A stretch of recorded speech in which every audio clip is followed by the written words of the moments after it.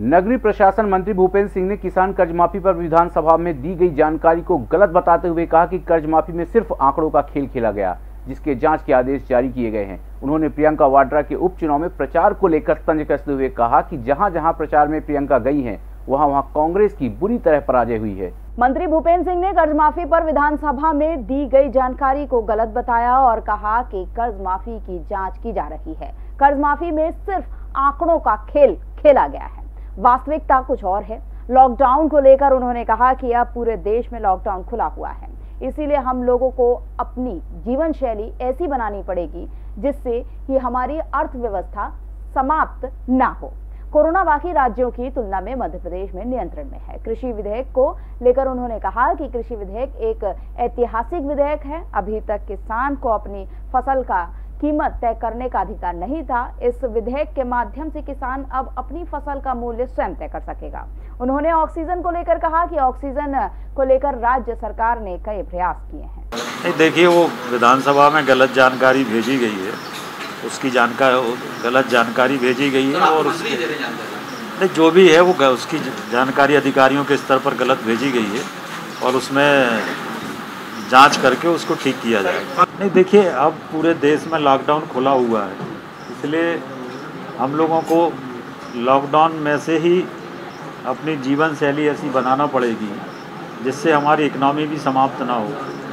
और उसी जीवन शैली में हम सबको रहना पड़ेगा।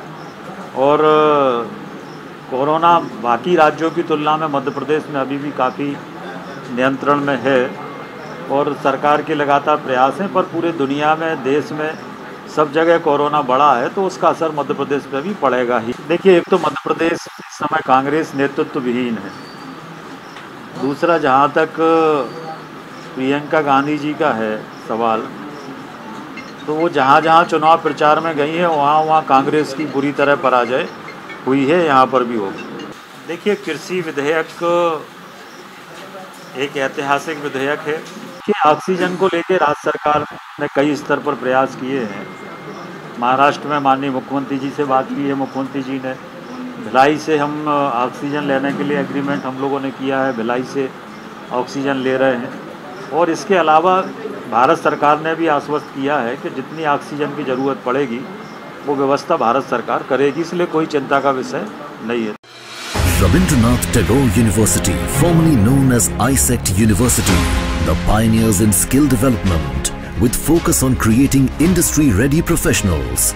Join India's premier skill-based university, Rabindranath Tagore University.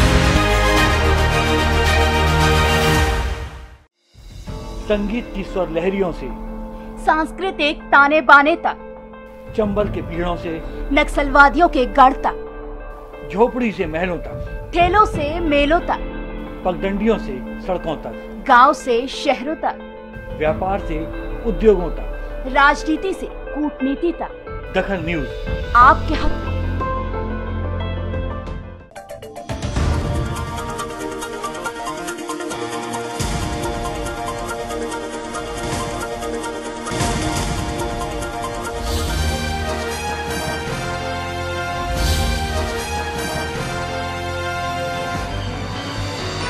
आप देख रहे हैं दखल न्यूज़।